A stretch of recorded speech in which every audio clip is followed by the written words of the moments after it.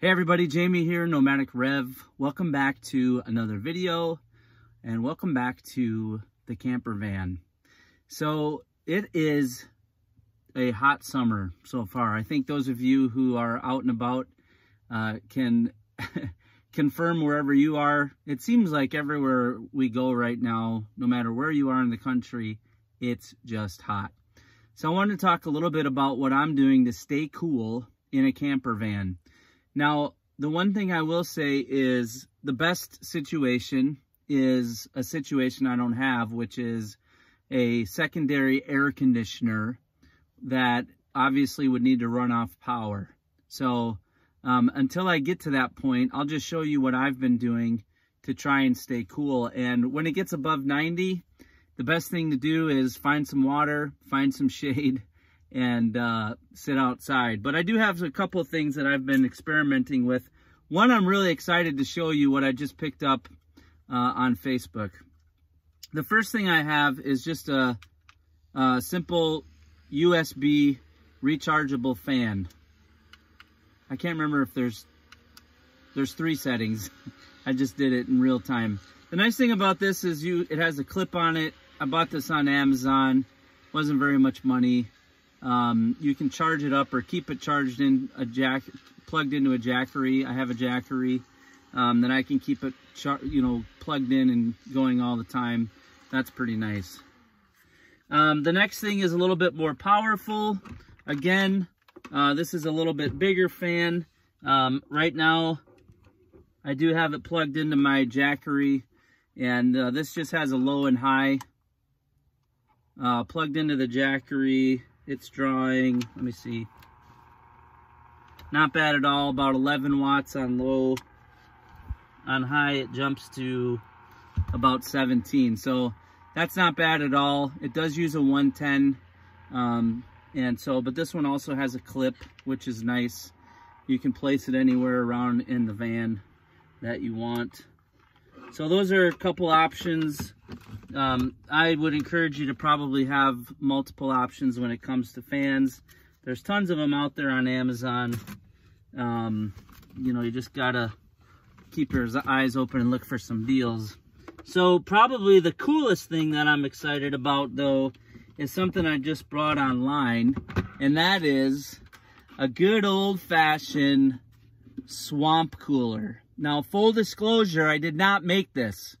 I bought it this way.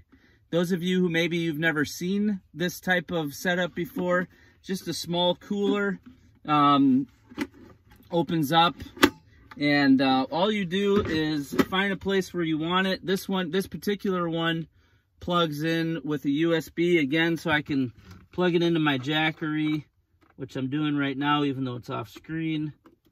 And then all you're going to do is get you some ice. And uh, I have some right here. Just going to pop the lid open on it, dump it in there. Um, I could have probably used a little bit more, but that's okay. This is just for the demonstration of the video. And then, uh, yeah, close it up, seal it, and just turn it on.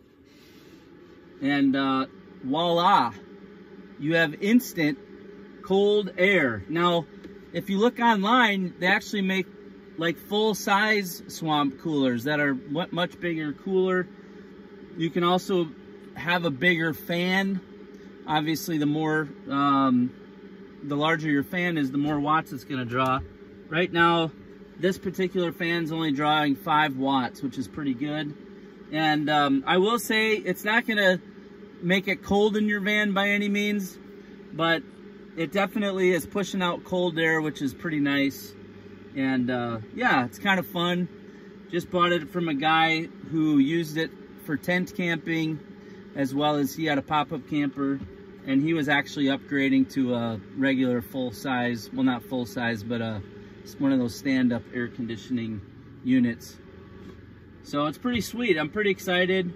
Um, again, this would really work well, especially at night when the sun goes down, because then you're gonna have less heat anyways, but it's a pretty neat thing. Um, this is just a little Coleman cooler.